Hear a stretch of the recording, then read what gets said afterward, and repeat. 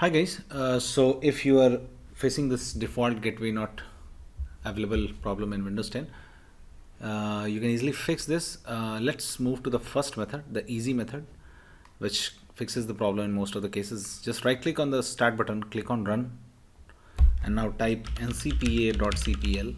Now click on OK. And now if you're connected via Wi-Fi, just right click on Wi-Fi. If you're connected via Ethernet, right click on Ethernet, OK right click on that uh, network adapter which you are connected. Just click on disable okay?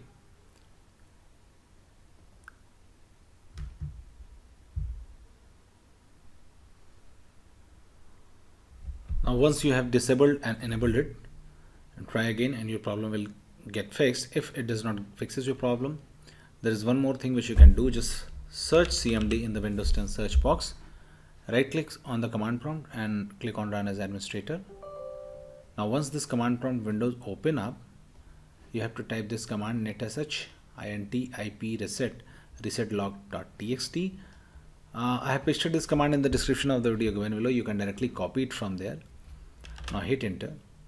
And now try again. Your problem will get fixed. If this also does not fixes your problem just right click on the start button. Click on run now type ncpa.cpl okay now click on ok.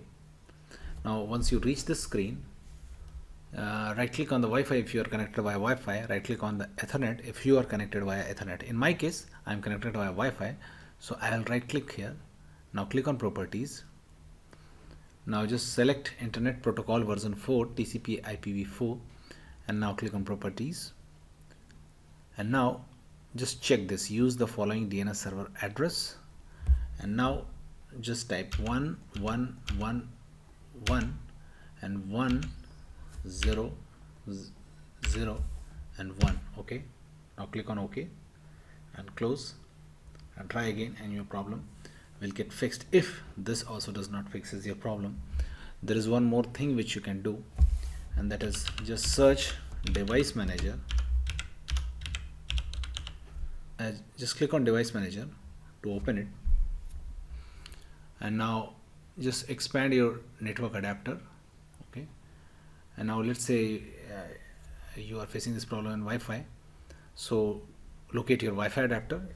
If you're facing this uh, problem with the Ethernet adapter just locate your Ethernet adapter okay so uh, how to uh, know which is your Wi-Fi uh, adapter and from the list. For that just right click on the start button click on run and type ncpa.cpl again. Click on ok. And now here in my case let's say I'm connected via Wi-Fi. So if I hover my mouse or see here it is written Intel R dual band wireless AC 3165 okay? So this shows my network adapter okay?